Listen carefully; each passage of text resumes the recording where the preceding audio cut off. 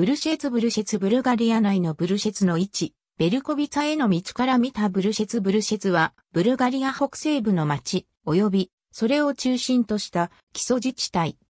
モンタナ州に属する、バルカン山脈西部の北側の斜面、ボトニャ川の渓谷の中にある温泉町である。ブルシェツは産地の温厚な気候と美しい景色、広大で保存状態の良い自然公園、そして温泉療養の地として、ブルガリア北部では最も古く有名なリゾート地の一つである。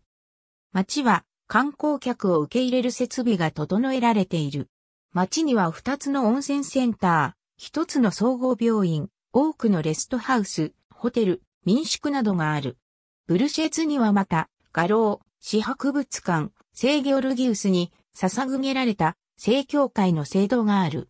紀元前2世紀のトラキア人の少年の聖堂像が町の近くで見つかっており、ブルシェツの象徴となっている。現代の町は古代ローマ時代、ビサンティン時代の町メデカに起源を持っており、紀元前6世紀にはすでに存在していたことが確認されている。ブルシェツに町があったことは16世紀の文献にも確認できる。